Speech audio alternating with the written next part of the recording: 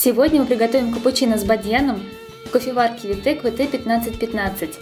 Для этого нам потребуется 2 мерные ложки молотого кофе, 80 мл молока, 1 чайная ложка тростникового сахара, 3 соцветия бадьяна и 120 мл воды. Фильтр установить держатель. Насыпать фильтр 2 мерные ложки молотого кофе и утрамбовать обратной стороной ложки. Налить воду в емкость для воды. Установить держатель фильтра в кофеварку. Включить кофеварку. Установить чашку на поддон. И когда загорится зеленый индикатор, повернуть ручку выбора режимов против часовой стрелки. Когда чашка наполнится, вернуть ручку в исходное положение. Нажать на кнопку включения подачи пара.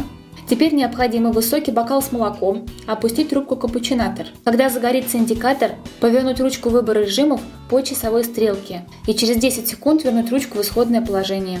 Далее подогретое молоко необходимо добавить тростниковый сахар, размешать его, положить в бокал соцветия бадьяна и добавить кофе. Капучино с бадьяном готов. Приятного аппетита! Витек. Здоровый взгляд на технику.